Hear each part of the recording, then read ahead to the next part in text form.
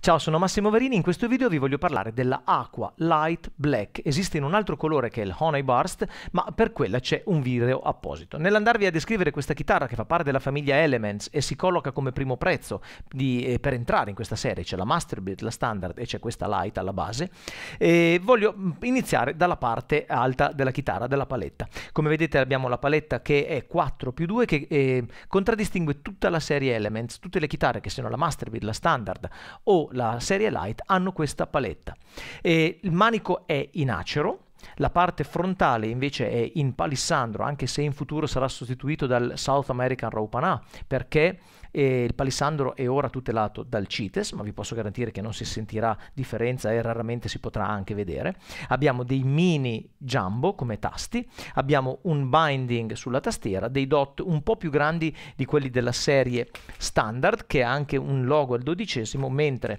eh, nella serie light abbiamo i due dot. Andando avanti arriviamo al punto di giunzione tra il manico e il corpo che è eh, bolt-on, quindi avvitato, invece della piastra metallica abbiamo queste quattro boccole che contraddistinguono i manici avvitati della serie Elements anche per la parte di Masterbuild. Qui incontriamo il truss rod perché Così come per le altre chitarre abbiamo deciso che nei manici della serie Elements il truss rod sia regolabile da questa parte. Viene fornita eh, la, diciamo, quella sbarretta metallica che permette di tirare o allentare il truss rod, ma soprattutto andiamo a togliere quel foro che sta in alto nella paletta che va ad alleggerire e, e a togliere proprio del legno in questa zona, non solo per il sustain, ma soprattutto per, dal punto di vista di robustezza della paletta in caso di